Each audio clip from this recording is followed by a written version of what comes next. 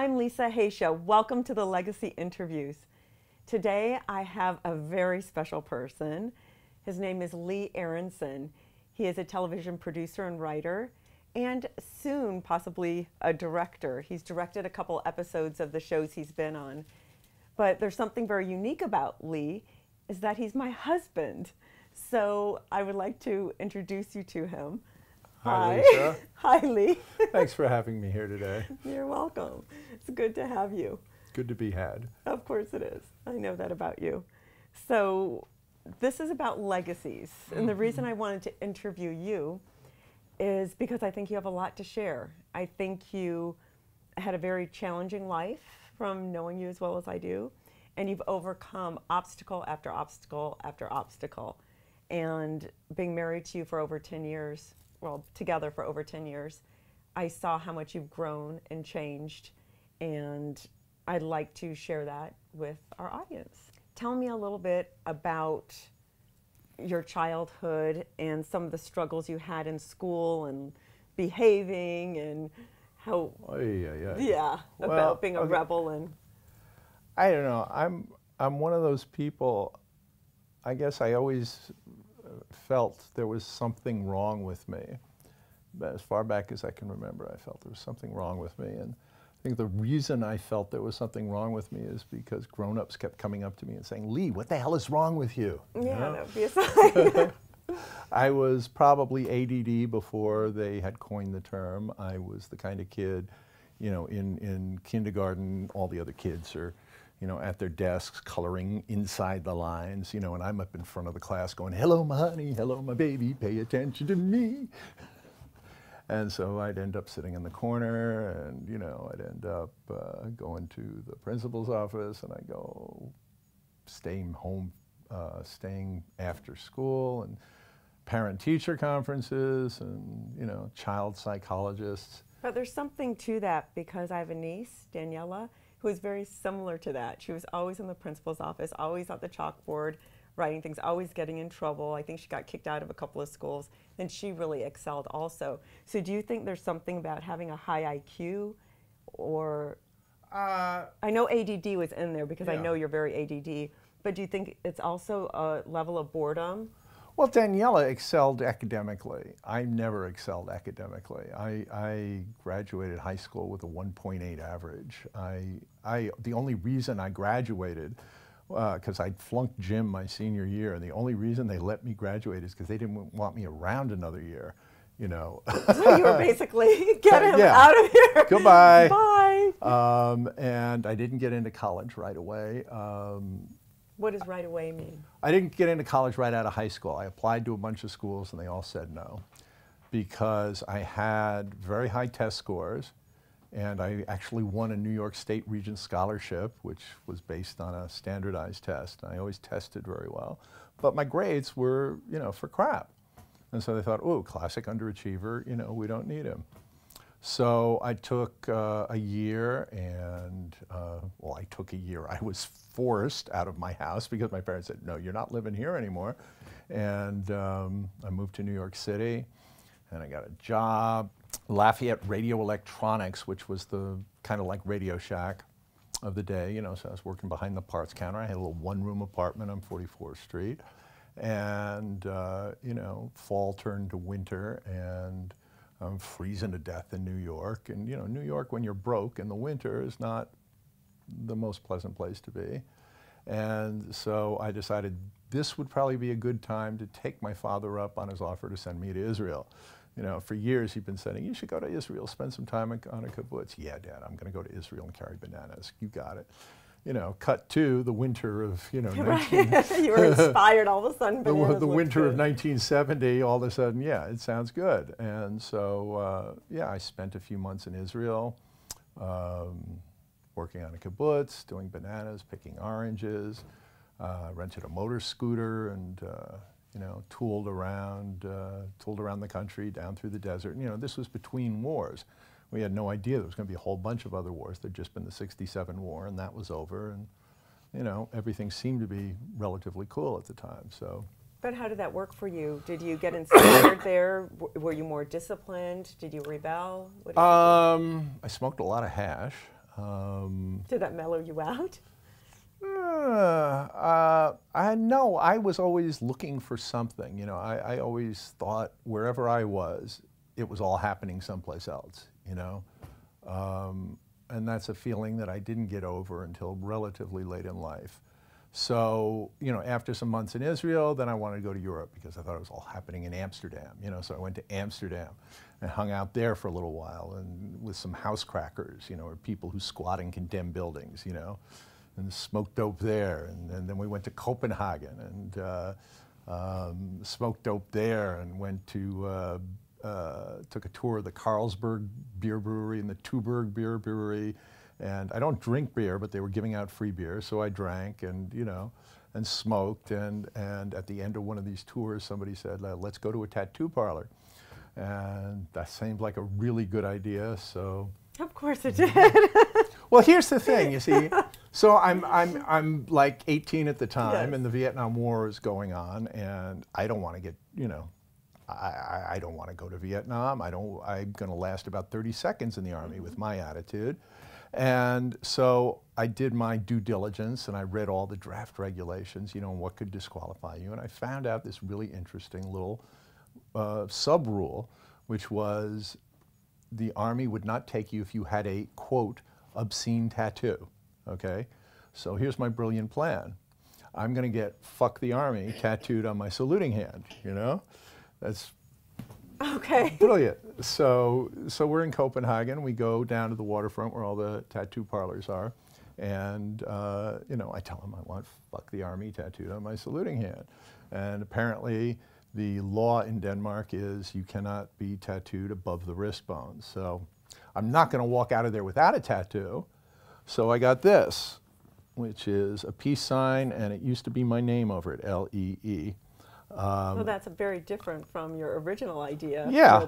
Well, it's still anti-war, yeah. you know, mm -hmm. and um, this is the exact size of a Danish kroner coin, mm -hmm. or was at the time. You know, he he put it on my arm and he drew the outline, and you know, and then he did the rest freehand, which really freaked me out. You know, because when somebody is drawing on you indelibly forever, mm-hmm. you kind of want them to have a guide, not just be winging it. But um, so I've had that ever since. And um, from Copenhagen, uh, went to Germany, and um, then I went home, and I had applied while I was in Israel to the University of Pittsburgh for a uh, probationary acceptance. So I had to go to a, um, I had to go to a um, little branch campus at the University of Pittsburgh in Titusville, Pennsylvania, a tiny little town in western Pennsylvania. I had a great summer, you know. I had to take two courses and I had to get B's or better, I think, to get full admittance to the University of Pittsburgh system. And, um, you know, partied every night, um, got high a lot. And in the middle of that summer, the draft lottery occurred. And I don't know you may not know what the draft lottery was, but in those days, they would take birthdays, you know, every date, January 1st through December 31st, put it all in a bowl, and they'd pick dates in order, and the order that you were picked was the order that you got drafted. So if you were picked, you know, 250th, chances are you weren't going to get drafted. My number was three. Ah, of course it was. Of course it was. So we're listening to this on the, you know, we're watching this on TV yeah. in, in the dorm, and, uh, you know, my number comes up to three. I'm not happy about this. And so somehow somebody got a plastic, big plastic American flag from someplace, and we poured lighter fluid on it, and we set it on fire out in front of the dorm. And then we hung the charred remains in front of the dormitory. Now you got to understand, this dorm building was just in the middle of this, this residential neighborhood in this tiny Midwestern, you know, Midwestern Pennsylvania town. And there's this charred American flag hanging up there. Okay, this was the biggest scandal that had hit Titusville, Pennsylvania in years. There was an investigation. There was, you know, it was all oh, very, very, very, very dire. And the upshot of it was um, I was invited not to return to the University of Titusville, uh, the University of Pittsburgh at Titusville. So I transferred to a, in the fall, since my grades were good enough um, to matriculate, I went to another little branch campus uh, in Johnstown, Pennsylvania, which was a slightly bigger town. Uh, Why did you even want to go to college? Fear. Um, I grew up, my parents, my father was an attorney, um, you know, upper middle class Jewish upbringing. Where I grew up, everybody went to college. but where you grew up, everyone also probably did well in school or at least tried to. Well, there were some screw ups like me, the kids I hung out with in college, in high school. I hung out with a group of kids in high school. We called ourselves freaks. You know, there were freaks and there were straights. And I thought all the freaks were as big screw ups as I was, and it really wasn't true. Yeah, they were smoking dope, but they were also going home mm -hmm. and doing their homework. So, um, yeah, the, the, the, answer to the question, why did I want to go to college, was simply because that's what you did. Okay. You know, uh, I've been. That's what you saw your father do. Well, that's my father instilled in me yes. that if I didn't go to college, you know, my life was going to be a horrific nightmare of, you know, failure and deprivation. You know, my father grew up during the Depression, mm -hmm. And so he was very big on, you know, do the work and, you know, uh, keep all your options open. Yeah, even if you don't use it, it's good to have in your back pocket. Right. So I had no idea what I wanted to do, uh, but I certainly felt like I needed, you know, I needed to get into college and, you know, get a degree. And, uh, you know, I thought, hey, maybe I can go to law school or something.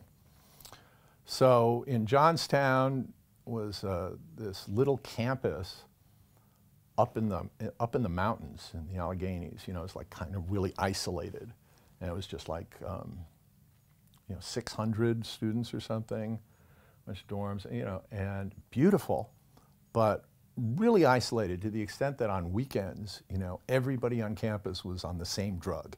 You know, it's just like it was. It was acid weekend. It was mescaline weekend. It was, uh, you know, so there was a lot of that, and I got. Uh, got into a fair amount of trouble um, for various things. I put on a I put on a play there that ended up wrecking the space that it was in, and um, I don't know. It, it was just it was a weird year. And I guess I must have done all right academically because I applied to transfer to the University of Colorado from there. And the University of Colorado I applied to because I read the underground guide to the comic, the college of your choice. And what it said was uh, the University of Colorado was the party capital of the West. So I thought, they beat hey, San Diego out? That's for me. uh, maybe it was Midwest. Okay. okay. But it was, it was highly rated for sex and drugs. And so I thought, okay, that's for me. And uh, there you have it. There I have it. I ended up at the University of Colorado. I majored in political science. I want to backtrack a okay. little, then we could continue on. All right. Yeah, I've been talking a long time yeah. with no interruption. Yeah, um, because you have good stories, though. Otherwise, I would have interrupted you. You can edit, you know.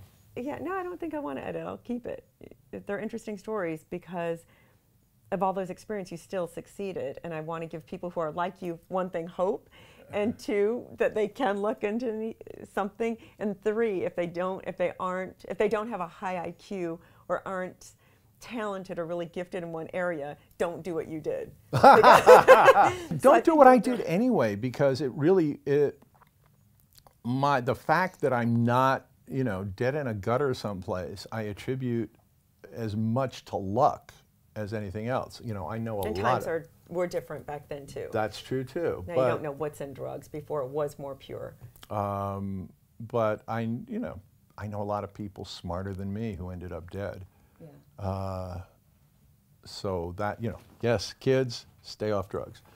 Um, um, but I want to go back a little bit. Then we're going to go back into how you became so successful in comedy and I want to discuss some of the people you met and the personalities of comics. All right. But before I do that, I, as you know, am a big traveler and I love travel and I think travel's so important to anyone if you want to grow as a human being or if you want to, you know, really develop yourself, you know, become an onion, have all these layers to you. If you just keep reading books and saying, oh, that's how it is, and you don't ever go anywhere, you, I think you're missing out a lot on life.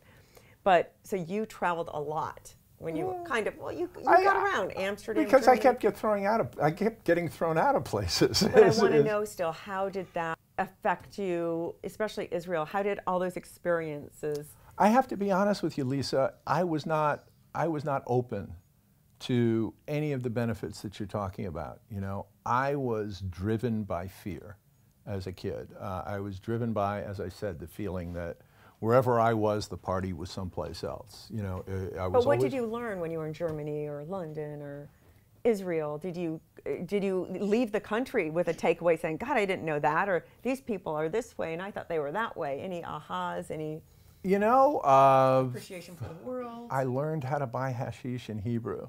Um, Okay, I this has some value if you're into hashish. I, I met uh, w- one thing I do remember uh, that did make an impression on me. There were, there were a lot of Holocaust survivors. I met a lot of people with tattoos on their arms, Mm. you know. And Did you go to the Dachau Museum? oh or- no, I okay. didn't. I didn't do any of the sightseeing stuff. But I mean, they were just everywhere. Um, Yes. the, uh, But I left there with such a strong feeling of what did we do? Who are we as human beings? And I had to come, go home and research it, and it really, I felt a lot closer to Jews, and I felt connected to Germans, of feeling like, what are they doing, and how can I not be that way, or you know, just everything. It just stirred up all these emotions. I walked in going, oh, it's kind of like a museum because I was kind of naive, and I left bawling and crying and just.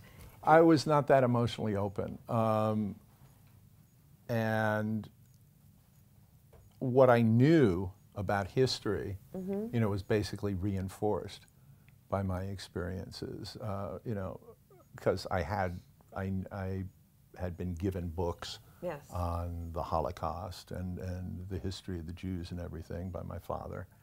And so that made it all, you know, more real to me. Went to Jerusalem, went to the Wailing Wall. Okay. You know, yeah, I didn't it- have those experiences. and it was more it was more of a uh, observational thing for me than a um, than an emotional experience. You know, I filed it all away, and uh, when I went to Germany, a very telling experience to me was I had just gotten this tattoo, and I'm sitting in a beer hall in might have been Munich, might have been Frankfurt, and. Uh, German guy sitting next to me says, uh, Why did you get that? And I said, Why not? And he said, You can't answer a question with a question. okay. okay, I can now understand a little bit about the German mindset. I took a, um, a charter flight home from Germany, an airline called uh, Atlantis Airways, okay, and I was using somebody else's charter ticket. So we met in Frankfurt at the airport, and he checked in, and you know then gave me his boarding pass. So I was on the plane under you know false pretenses, and it's a you know whatever it is nine-hour trip to New York, and towards the end of the trip I really had to go to the bathroom, and there'd been a line to the restroom you know for an hour. Suddenly I realized there's no line there, so I get up and I head for the bathroom, and uh, the stewardess stops me and says, "The, the captain has turned on the, no, uh, the seatbelts on. You must return to your seat." I said, "Yeah, I just gotta, and I'll be right back." No, the seatbelt sign is on. You must return to the seat. "You don't understand. I really have to go." No, the captain to the seatbelt sign. So I, I just push past her, and I go into the bathroom. She comes and she's you must return to your seats. The seatbelt sign is on.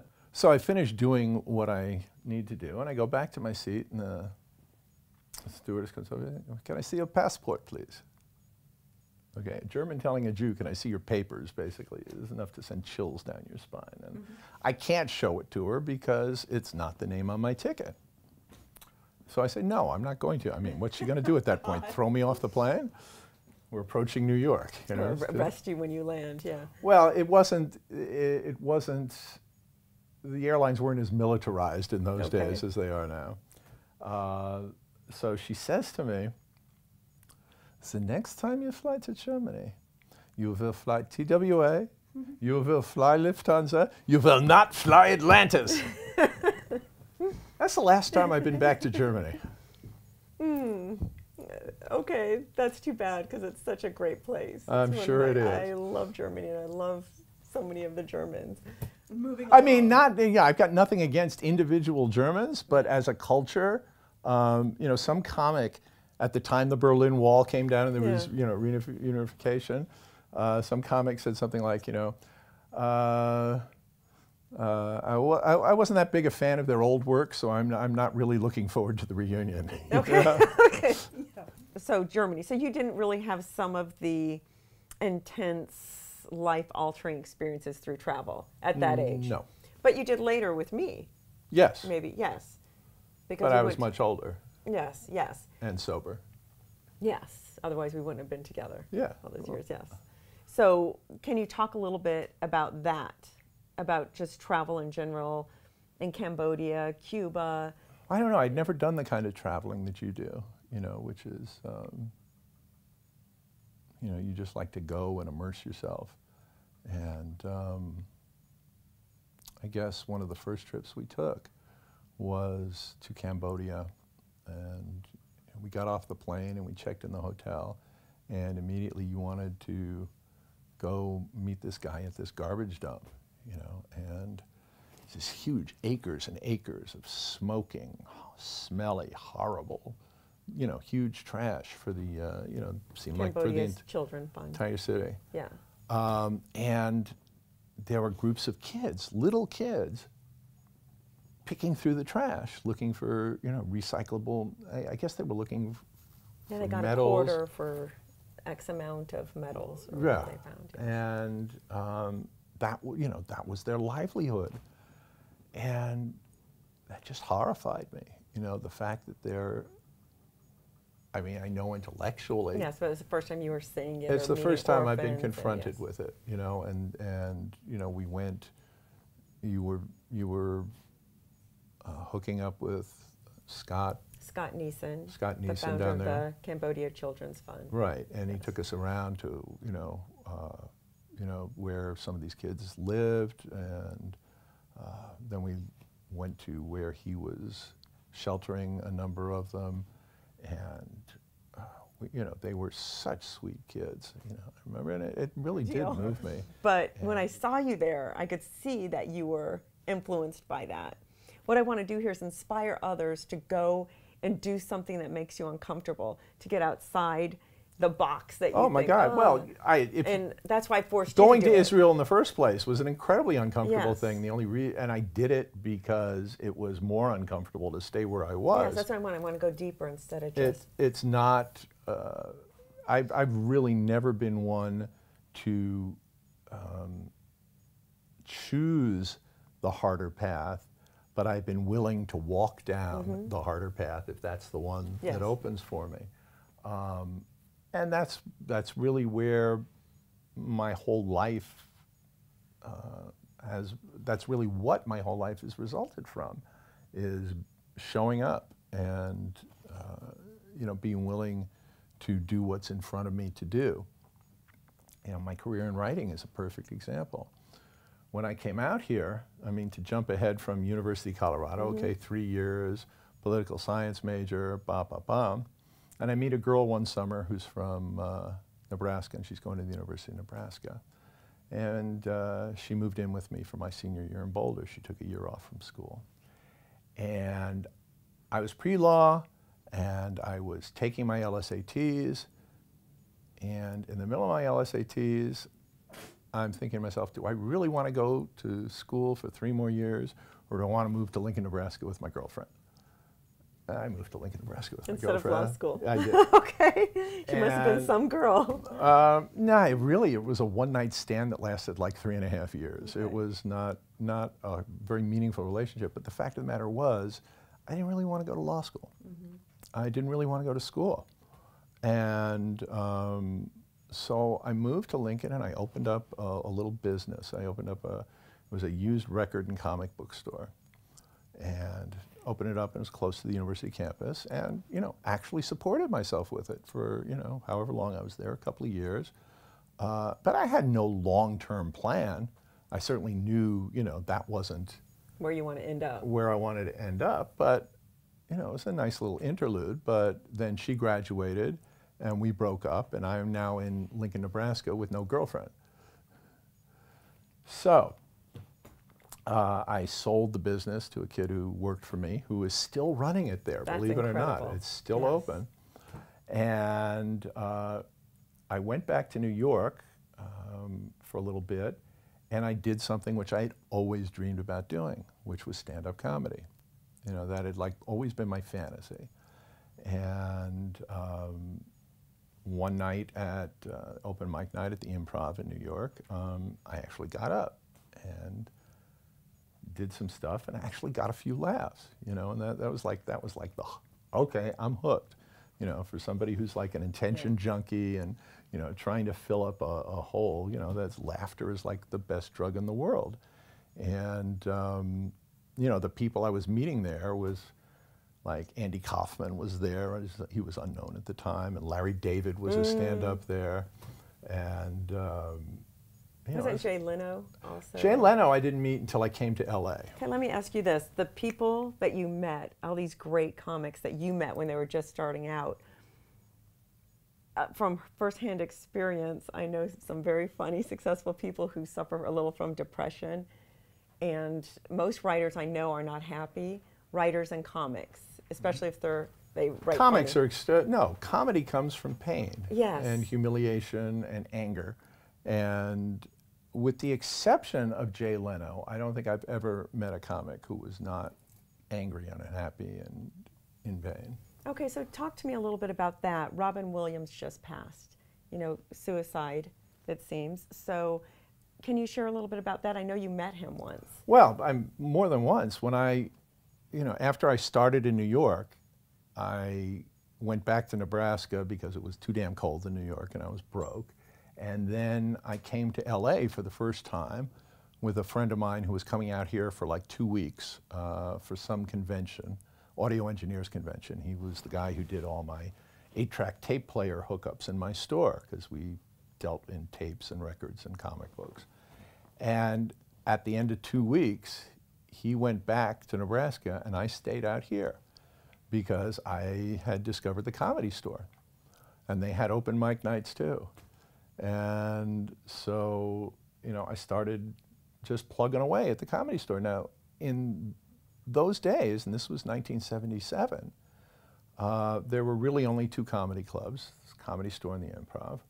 And there was no real way to make a living uh, there was no road or anything. And, but there was a hierarchy of comics, and, and the big shots at the comedy store, who were still completely unknown outside the comedy store, were David Letterman and Jay Leno, Robin Williams, and Richard Lewis, and um, Michael Keaton was doing stand up in those days. I mean, you know, an incredible number of very, very funny people. You just listed a bunch of my favorites, of yeah. course. Yeah. And and so you know, I'm looking at them and I'm thinking, okay, it's gonna be a long time before there's any room for me at the top of the hierarchy. But I knew Robin um, casually, you know, just to say hi to, hang out, um, and once I started writing, being paid to write, which is a story I will tell you how that came about, uh, I basically stopped hanging out at the store. And this was 1978. And um, all of a sudden, Mork and Mindy hit. I mean, you know, just exploded. And Robin Williams goes from being unknown to being, you know, on every Yeah, magazine superstar, cover. right. And, uh, and one night, around that time, I found myself at the Ginger Man uh, in Beverly Hills. It's a restaurant that was owned by Carroll O'Connor. And I, I have no recollection of why I was there, but it was relatively late. I, mean, I was probably there trying to pick up women. And Robin Williams is there, sitting at the bar, just drinking alone, you know. And so, you know, he it wasn't. He hadn't reached the level of fame where, you know, he was mobbed or everybody recognized him yet. He, he was a star of a hit TV show, and um, you know, nationally he was getting a lot of publicity, but you know, in town he was another, you know, successful actor. And so I said hi to him, you know, and I said, "Congratulations, man! You know, this show is blowing up. It's fantastic." And he was not happy at all. He said to me, "Man, it's insane, man. I don't know how I'm going to handle it." And he just looked miserable. And it was at that moment that I gave up wanting to be famous. Know, and that's that's the last time I ever ran into him. But um, you know, over So you so you really believed him because sometimes I hear actors saying that of, oh I hate this I hate Oh, that no. as they go forward. I'm like you don't hate it. You're, they're just acting humble or acting. no, no. But you felt it Well, because you, any if what you know about comics is Yeah. comics have a hole they're trying to fill. Um, you- and they're filling, and they, they need to fill it with approval and with laughter. And, and Robin had that more than anybody. He really felt the- so eager to yeah. Mm-hmm. please. You know, he, he wasn't. He was never looking to be famous. He was looking to be loved. And um, you know, but you could tell. It was just very apparent to me that oh wait, you know, this thing that I thought was so great to have, not necessarily so great. Uh, I make the joke that you know, I wanted to be famous up till the point that I started meeting famous people. And that moment with Robin Williams was like the first and the biggest. But, you know, throughout my career, I've never seen anything to indicate that um, Fame was healthy. fame and success makes anybody happy.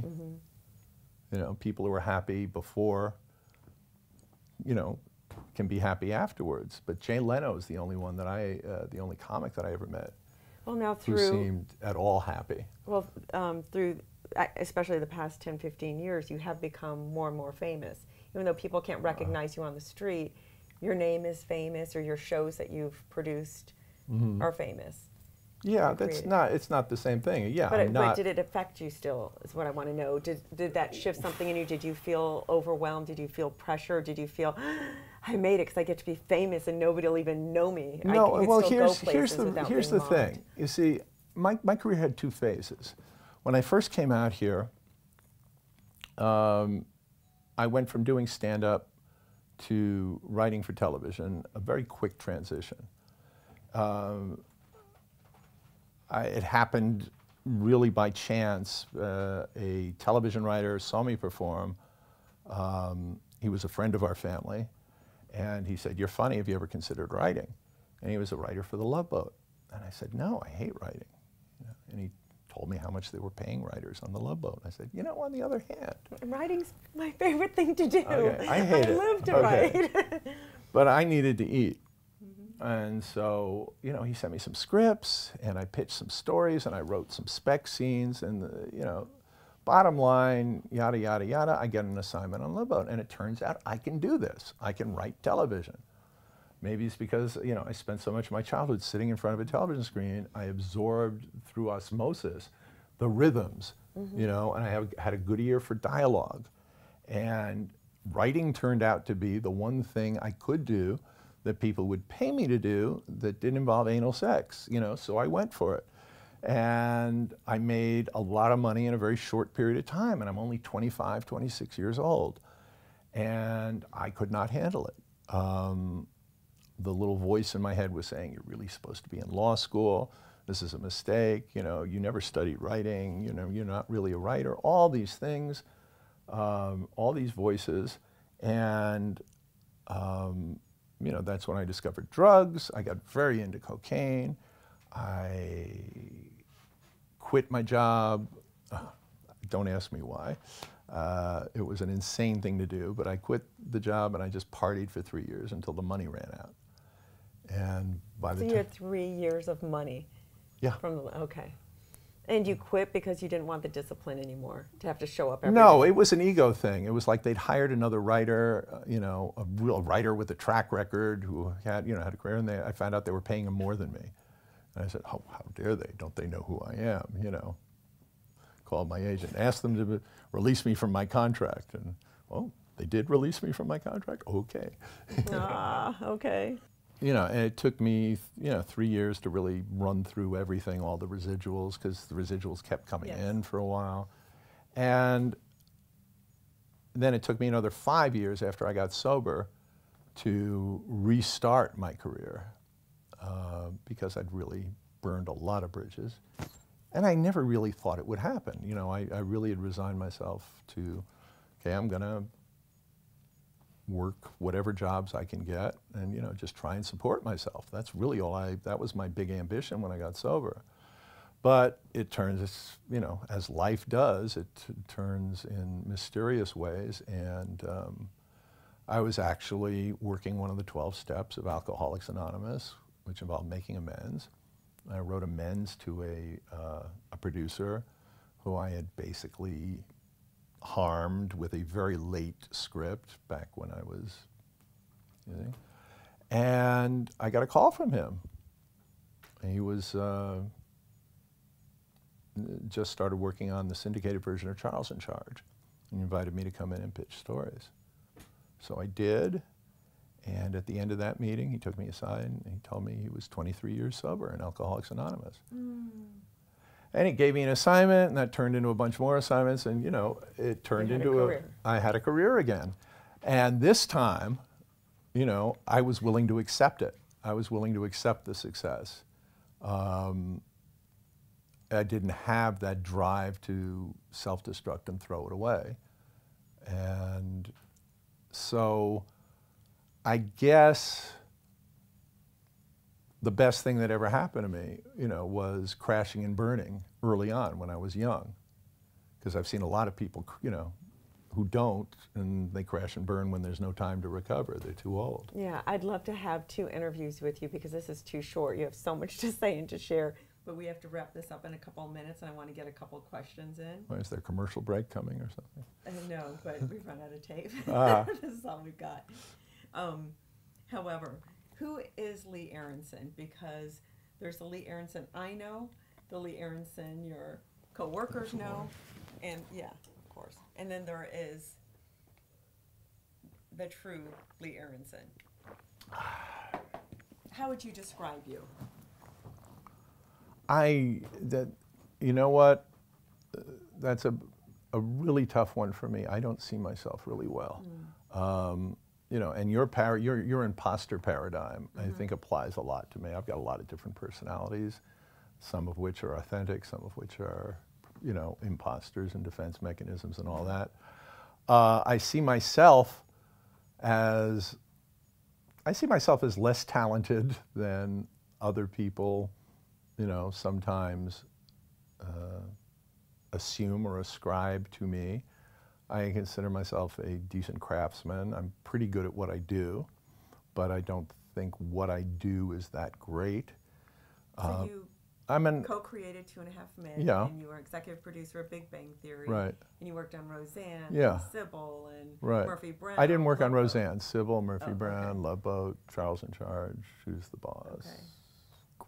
Grace Under Fire. Mm-hmm. Um, yeah, I've worked on a lot of shows because I, I, I am good at what I do. Yeah.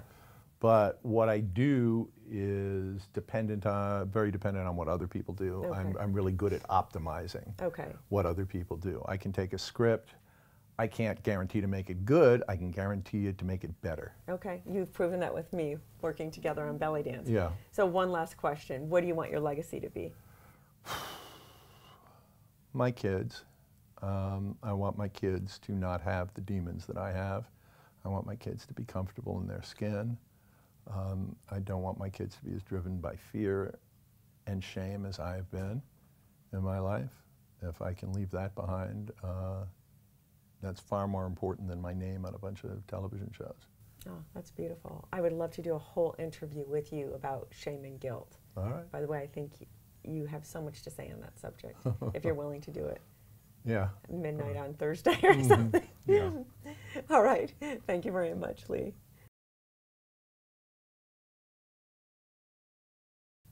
I'm Lisa Haisha here with Lee Aronsohn, coming soon to the Blazing Borders website, the epic legacy interview of me by her. Be there. or Be Square. Is that me trying to be funny? Oh, Oy vey. I won't try to soul blaze. You don't try to do comedy, okay? you got it. But watch the interview.